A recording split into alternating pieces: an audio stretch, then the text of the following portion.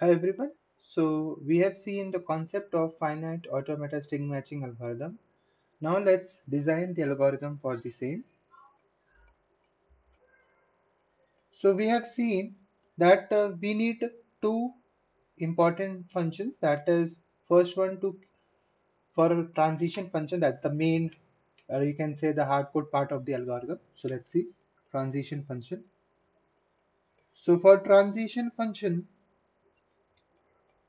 what should be the input that is your pattern. Remember we used to make a transition table or a automata for a pattern not for a text and the inputs. So whatever the inputs like uh, in the concept video we have taken a b and d as inputs. So those will be the inputs. So you can write pattern and the input. Right? So let's start with this. So you need m that is your pattern length as usual right? Then uh, what you will do for q is equals to 0 through m that is your pattern complete pattern. We are going to check for each character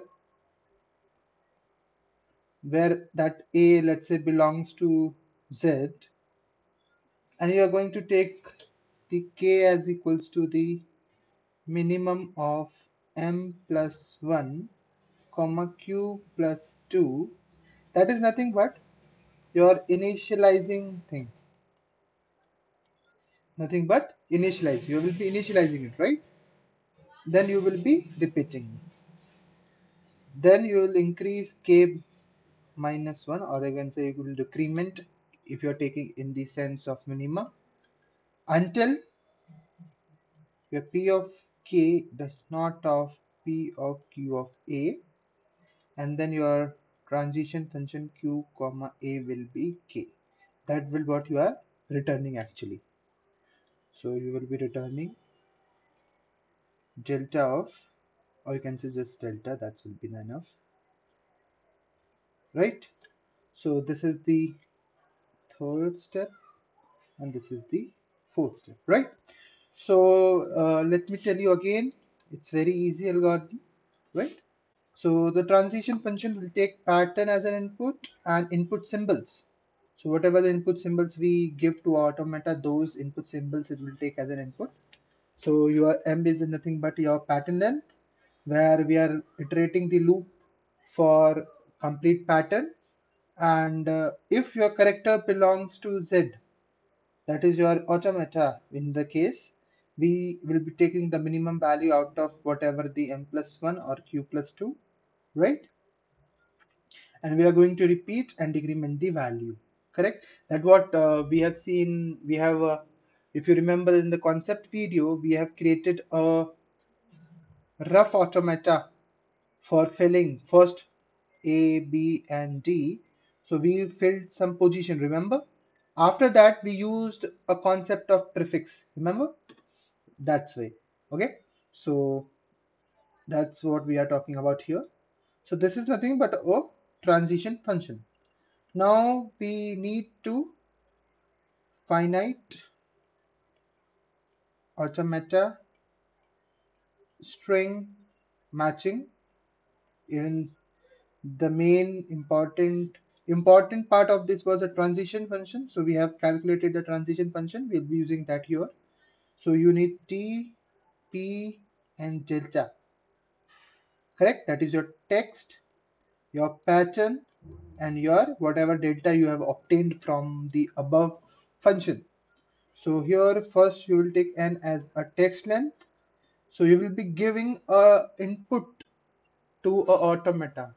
So your text will be input to a automata. If it reaches to a final state, then we says that pattern exists in a text. Then you will initialize that q to 0. So for uh, iterating I loop 1 to n, so your q will change to delta of, you can write uh, like this, q will be your delta of q of t of i, that is text of i. That is your taking input. That is nothing but for example if text is abc and uh, okay. So you will check see from taking here as input a where it is reaching.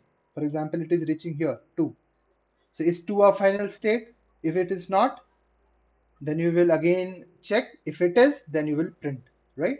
So if you can write if q equal to equal to m that you have you have reached the final state you will print let's say I write 4 5 and 6 you will print that pattern has occurred pattern occurred at shift i minus m correct so this is the algorithm for the finite automata. Let's analyze the time complexity. So if you see here, this for loop, this loop works for m times transition function, right? This also works for m times.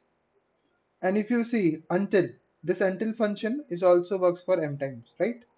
No other loop so uh, if I say time complexity for this function is m cube, remember? Now you are taking transition function here with the inputs, right? You are taking transition function with inputs. So we have already seen that transition function here is m cube and with inputs. So it depends upon input also. So whatever the input with the combined with the transition function. That is why m cube into input, input symbols. Remember? Now here you are, this is taking n loop that does this for loop will work for n times and nothing else, right? So your time complexity will become what? This plus whatever we have calculated for our transition function. Therefore, your time complexity time complexity for the finite automata is O of m cube sigma plus n. If we neglect this m cube sigma because when we do an analysis we find that n is always greater than m. We have seen in the uh, basic videos of string matching. When we do an analysis we find that n is always greater than m. That is text is greater than m in a, a conditions so therefore we says uh, we can uh, o of n. Correct